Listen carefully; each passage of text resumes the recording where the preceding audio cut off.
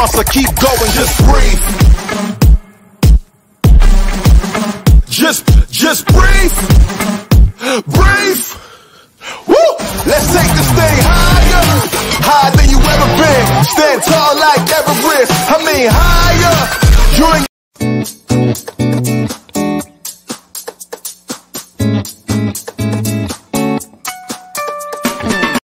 ഭോജ്പൂർ ടെമ്പിളിന്റെ വിശേഷങ്ങൾ ഈ എപ്പിസോഡിലും തുടരുകയാണ്. പതിനാലാം നൂറ്റാണ്ടിൽ ഭോജ് രാജാവ് പണി കഴിപ്പിച്ചതാണ് ഈ ഒരു ടെമ്പിൾ. പാതി പണി കഴിപ്പിച്ചതേയുള്ളൂ. അത് കംപ്ലീറ്റ് ആക്കാൻ ഭോജ് രാജാവിന് സാധിച്ചിട്ടില്ല. എന്താണ് അതിന്റെ കാരണമെന്ന് ഇപ്പോഴും കറക്റ്റായിട്ട് തെളിവ് വന്നിട്ടില്ല അതിന്റെ ഒരു കാരണം. ഏഴ് പോയിന്റ് അഞ്ചടി ഉയരത്തിലുള്ള ഈ ഒരു ശിവലിംഗമാണ് ഈ ഒരു അമ്പലത്തിന്റെ പ്രധാന ആകർഷണം എന്ന് പറയുന്നത്. ഇവിടെ നമുക്ക് നോക്കിക്കഴിഞ്ഞാൽ കാണാൻ പറ്റും അതിന്റെ കൊത്തുപണികളും ചുവരുകളും ഒക്കെ. ഈ ഒരു ടെമ്പിൾ ഇപ്പം ആർക്കിയോളജിക്കൽ സർവേ ഓഫ് ഇന്ത്യ ആണ് ഏറ്റെടുത്ത് സംരക്ഷിച്ചുകൊണ്ട് പോകുന്നത്. നമുക്ക് കൊത്തുപണികളെല്ലാം കാണാൻ പറ്റും. ഈ കാണുന്ന കൊത്തുപണികളൊക്കെ കല്ലിൽ തീർത്തതാണ്. ഇതാണ് ആ ഒരു പ്രധാന അട്രാക്ഷനായ ആ ഒരു സ്തംഭം. ഇവിടെ ഒരു ഒരുപാട് ആൾക്കാർ പൂജകളും കാര്യങ്ങളും ഒക്കെ നടത്തുന്നതൊക്കെ നമുക്ക് ഈ ഒരു പുറത്തെ കാഴ്ചകളിലൂടെ ഒക്കെ നമുക്ക് മനസ്സിലാക്കാൻ പറ്റും.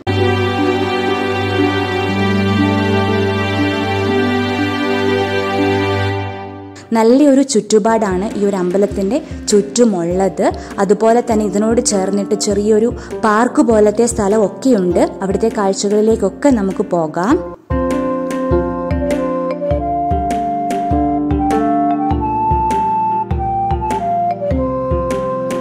ഇവിടെ ഇപ്പോൾ നമുക്ക് അമ്പലത്തിന്റെ മുകൾ ഭാഗം നോക്കിക്കഴിഞ്ഞാൽ കാണാൻ പറ്റും. പാതി വഴിയിൽ പണി ഉപേക്ഷിച്ചതിന്റെ ആ ഒരു ലക്ഷണങ്ങളൊക്കെ നമുക്ക് ഇവിടെ കാണാൻ പറ്റും. മേൽക്കൂരയും കാര്യങ്ങളും ഒക്കെ കംപ്ലീറ്റ് ആവാത്തത് നമുക്കിവിടെ നോക്കിയാൽ കണ്ടു മനസ്സിലാക്കാൻ പറ്റുന്നതാണ്.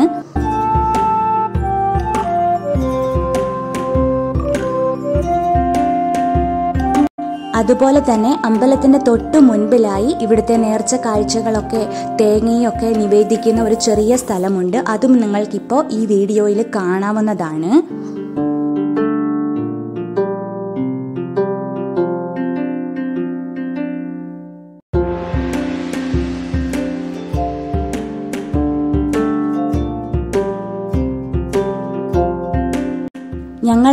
അമ്പലത്തിന് പുറത്തേക്ക് ഇറങ്ങി ആ ചുറ്റുപാടുമുള്ള കാഴ്ചകളൊക്കെ കാണാമെന്ന് വിചാരിച്ച് പുറത്തേക്ക് ഇറങ്ങി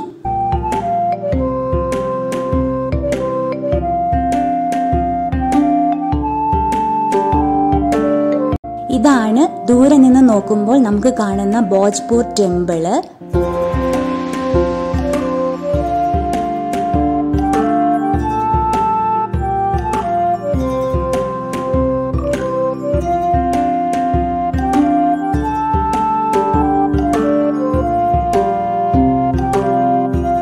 ഈ ഒരു അമ്പലത്തിനോട് ചേർന്ന് തന്നെ ആളുകൾക്ക് ഇരുന്ന് വിശ്രമിക്കാനൊക്കെ പറ്റിയ ഒരുപാട് ഒരു പാർക്ക് പോലത്തെ ഒരു സൗകര്യവും കൂടിയുണ്ട്. ഇതിന്റെയൊക്കെ മരത്തണലിൽ നമുക്ക് നോക്കിക്കഴിഞ്ഞാൽ കാണാൻ പറ്റും ഒരുപാട് ആളുകൾ വിശ്രമിക്കുന്നുണ്ട്. ഗ്രൂപ്പായിട്ടൊക്കെ ഇത്തരം സ്ഥലങ്ങൾ സന്ദർശിക്കാൻ വന്ന ആൾക്കാരൊക്കെയാണെന്ന് തോന്നുന്നു. ഒരുപാട് ഗ്രൂപ്പുകളായിട്ടാണ് ഓരോ മരച്ചുവട്ടിലും ആൾക്കാർ ഇരുന്ന് വിശ്രമിക്കുന്നു. കുറെ പേര് ഭക്ഷണം കഴിക്കുന്നു. കുറച്ച് പേര് ഇവിടെ ഗെയിംസും കാര്യങ്ങളും ഒക്കെ കളിക്കുന്നുണ്ട്. അങ്ങനെ എന്താണെങ്കിലും വളരെ മനോഹരമായ കാഴ്ച ഒരു അമ്പലത്തിന്റെ അറ്റ്മോസ്ഫിയറിനേക്കാളും ഉപരി നമുക്ക് ഇവിടെ ഒരു നല്ലൊരു ചുറ്റുപാടെന്ന് പറയുന്നത് നല്ലൊരു റിലാക്സേഷൻ കിട്ടുന്ന ഒരു നല്ലൊരു സ്ഥലം കൂടിയാണ്. ഇവിടെ കുറച്ച് പേര് കോക്കോ ഗെയിം ഒക്കെ കളിക്കുന്നുണ്ട്. നമ്മളും കുറച്ചു നേരം അത് കണ്ടു നിന്നു.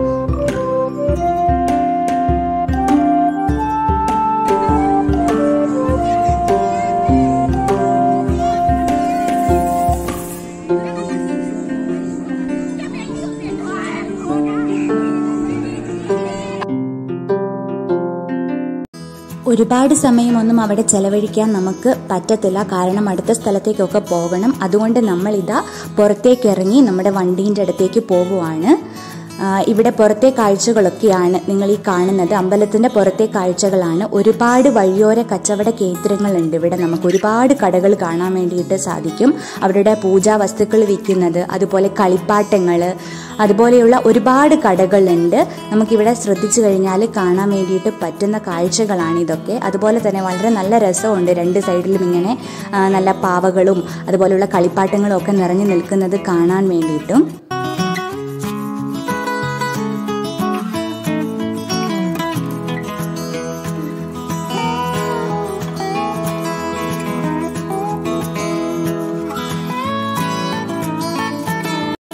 ഇതാ ഇവിടെ ഞങ്ങളൊരു കൂൾ ഡ്രിങ്ക്സ് കട കണ്ടു. അപ്പം ഞങ്ങൾ വിചാരിച്ചു ഇവിടെ നിന്ന് എന്തെങ്കിലും തണുത്തത് വാങ്ങിയിട്ട് കുടിക്കാമെന്ന് വിചാരിച്ചു. നല്ല വെയിലായതുകൊണ്ട് നല്ല ദാഹവും ഉണ്ട് അങ്ങനെ ഞങ്ങൾ രണ്ട് ലസിക്ക് ഓർഡർ കൊടുത്തിട്ടുണ്ട്.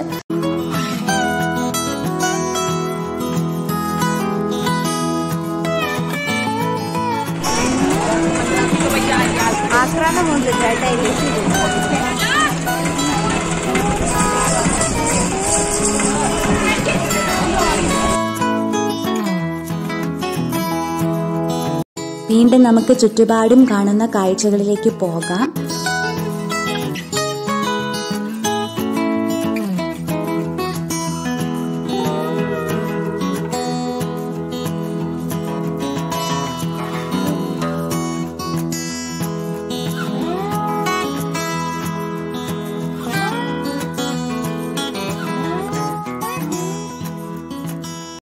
ഇതാ ഇവിടം കൊണ്ട് കട കഴിഞ്ഞു. ഇനി നമുക്ക് വേഗം വണ്ടിയിൽ കയറണം. ഹായ് ഫ്രണ്ട്സ് അപ്പൊ നമ്മൾ ഭോജ്പൂർ ടെമ്പിൾ വിസിറ്റ് ചെയ്ത് നമ്മൾ തിരിച്ച് കാറിലേക്ക് വന്നു. നമ്മൾ ഇവിടുന്ന് ഇനി ഭോപ്പാലിലേക്ക് പോകണം ഭോപ്പാലിൽ പോയിട്ട് ഹോട്ടലിൽ ചെക്ക് ഇൻ ചെയ്യണം. അത് കഴിഞ്ഞിട്ട് നമ്മൾ അടുത്ത സ്ഥലം അതിനടുത്തുള്ള ഒരു സ്ഥലത്തിലേക്ക് നമ്മൾ ഇവിടുന്ന് പോകും. അത് അവിടെ ചെന്നിട്ട് ഹോട്ടലിൽ ചെക്ക് ഇൻ ചെയ്തിട്ട് സ്ഥലം ഏതാണെന്ന് ഞങ്ങൾ പറയാം. അപ്പൊ നമ്മൾ എന്തായാലും ഇപ്പൊ ഇവിടുന്ന് സമയം എത്രയായി? സമയം മൂന്ന് മണി മൂന്ന് മണിയായി അല്ലേ ഇനി ഇവിടുന്ന് ഭോപ്പാലിലേക്ക് എത്ര കിലോമീറ്ററാ ഉള്ളത്? നോക്കട്ടെ. ഭോപ്പാലിലേക്ക് എനിക്ക് തോന്നുന്നു നാപ്പത്തി ആറ് കിലോമീറ്റർ ആണെന്ന് തോന്നുന്നു. അല്ലേ?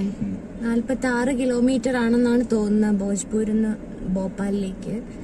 ഇനി നമ്മൾ നാളത്തെ ഷെഡ്യൂൾ എല്ലാം നമ്മൾ ഇവിടുത്തെ കഴിഞ്ഞു. ഓവറോൾ ഇതെല്ലാം കഴിഞ്ഞു. ഇനി ഒരു മെയിൻ ആയിട്ട് ഒരു ഇനി ലോങ്ങസ്റ്റ് വരുന്നത് സാഞ്ചി സ്തൂപയൊക്കെയാണ് അത് ഇപ്പോഴല്ല ഈ വഴി പോവാൻ പറ്റത്തില്ല. അത് ഭോപ്പാലിൽ നിന്നാണ് പോവേണ്ട റൂട്ട് വേറെയാണ്. അപ്പൊ എന്തായാലും ഇനി ഈ ഒരു ഇതെല്ലാം കവർ ചെയ്തിന് നമുക്ക് നേരെ ഭോപ്പാലിലേക്ക് പോയാൽ മതി. അപ്പൊ ഇനി നമുക്ക് മെല്ലെ അങ്ങോട്ട് പോവാം. നല്ല നല്ല വെയിലാ. വെയിലാണ്. പക്ഷെ അതിന്റെ അകത്ത് വലിയ ചൂട് എടുക്കൂല. കല്ല് ചുട്ടിക്കുമ്പോ നല്ല ചൂട് എടുക്കൂല? പക്ഷെ പുറത്താണ്. സോക്സ് സോക്സ് ഊരിയുണ്ട് നല്ല സുഖമായിരുന്നു. അല്ലെങ്കിൽ നല്ലൊരു ബുദ്ധിമുട്ടാണ് പിന്നെ കുരങ്ങുകളാല്ലേ സിംഗവാലം പിന്നെ ആൾക്കാരൊക്കെ വന്നിട്ട് അവിടെ ടൂർ വരുന്ന മാതിരി ആ ഗെയിം അവിടെ എല്ലാരും ഒന്ന് ടൂർ ടൂർ വന്നാലും ഗെയിമൊക്കെ കളിച്ച് അതുപോലെ തന്നെ ഒരു പായും അതെങ്കിലും ഷീറ്റ് ഒക്കെ ഇട്ട് അതിന് മുകളിൽ ഇരുന്ന ഫുഡെല്ലാം ഫ്രൂട്ട്സ് ഒക്കെ കൊണ്ടുവന്ന് കഴിച്ച് കഴിക്കുന്നു. പിന്നെ ഡിജെന്റെ. മറ്റേ പോലത്തെ സാധനം വെച്ച് വെച്ച് സ്പീക്കറെല്ലാം വെച്ച് പാട്ടെല്ലാം കേൾക്കുന്നു. അതിന്റെ ഇടയിൽ കൊറേ കുരങ്ങുകളും അതിന്റെ ഇടയ്ക്ക്. ഒരു ടെമ്പിളിന് മാത്രമല്ല ഒരു പിക്നിക് സ്പോട്ട് എന്ന് പറയാം.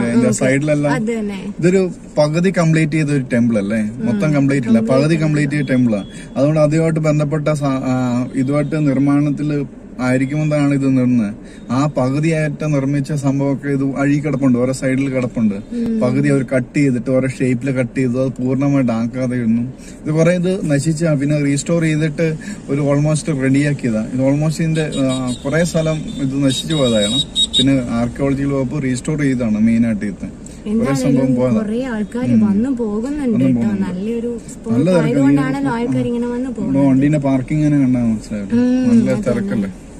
നമുക്ക് ഇനി ഭോപ്പാലിലേക്ക് പിടിക്കാം. ഭോപ്പാലിലേക്ക് നമുക്ക് ഇനി പോവാം. അടുത്ത സ്ഥലം നമുക്ക് ഹോട്ടലിൽ ചെന്ന് ചെക്കിങ് ചെയ്തിട്ട് പോവാം.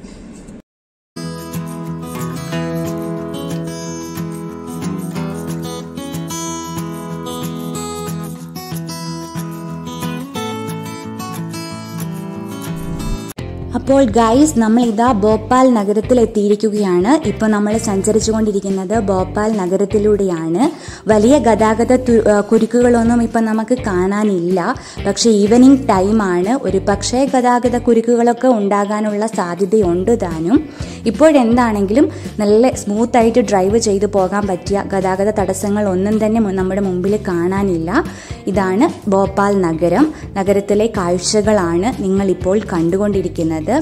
ബിൽഡിങ്ങുകളും കാര്യങ്ങളും ഒക്കെ ഉണ്ട് ഇപ്പോൾ റോഡ് തന്നെ നോക്കിയാൽ നമുക്ക് കാണാൻ പറ്റും. ഈ ഒരു നമ്മൾ പോകുന്ന റോഡ് എന്ന് പറയുന്നത് ടാക്സി കാർ അങ്ങനെയുള്ള കാര്യങ്ങളൊക്കെ പോകുന്നത്. നടുവിലൂടെയുള്ള ആ ഒരു റോഡ് നമ്മുടെ ആ ഒരു റൈറ്റ് സൈഡിൽ കാണുന്ന ആ ഒരു റോഡ് എന്ന് പറയുന്നത് അവിടെയുള്ള ട്രാൻസ്പോർട്ടേഷൻ ബസ്സുകൾക്ക് പോകാൻ വേണ്ടിയിട്ടുള്ളതാണ്. ട്രാൻസ്പോർട്ട് ബസ്സുകൾക്ക് പോകാൻ വേണ്ടിയിട്ടുള്ള റോഡാണ്.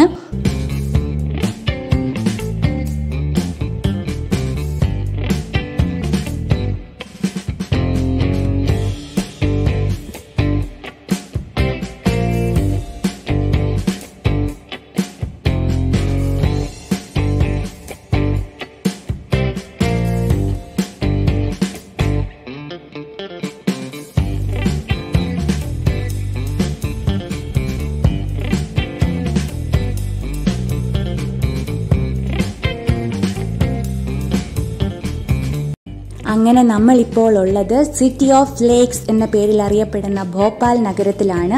അതായത് മധ്യപ്രദേശിന്റെ ക്യാപിറ്റൽ നഗരത്തിലൂടെയാണ് നമ്മളിപ്പോൾ സഞ്ചരിച്ചു കൊണ്ടിരിക്കുന്നത്